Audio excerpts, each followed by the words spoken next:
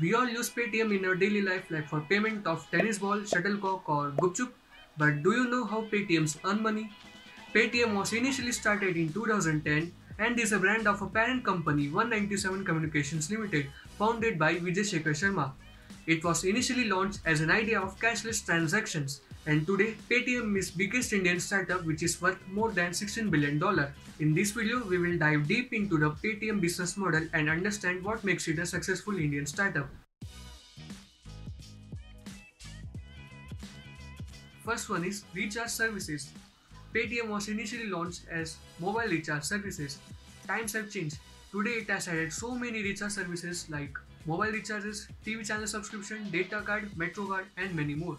The operator pays commission to Paytm for every single recharge done through its platform. Second one is bill services. In addition to recharge services, you can now even pay your water, broadband, mobile, gas bills through Paytm.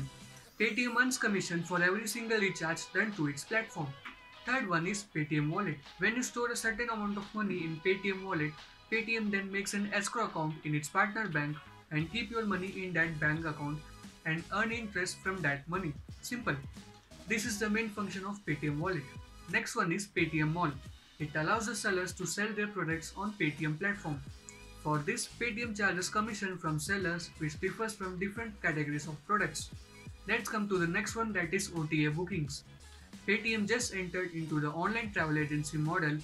In this part, it lets the customers to book air tickets, train tickets and bus tickets. It also provides hotel booking services. Let's come to the last one that is Paytm Payment Gateway. One thing that has become the compulsion of today is the QR code. Instead of searching for hard cash, users look for QR whenever they go for shopping. It is the same story with all of us and it is very convenient and hassle free. Now you might think that the company is making profit, right? But no, company is not making profit and it is focusing on building its brands and expanding its business. Just imagine hundreds of thousands of people keep their money in Paytm wallet and it is Paytm who is making interest on that money instead of you. However, you do get interest if you keep your money in Paytm banks.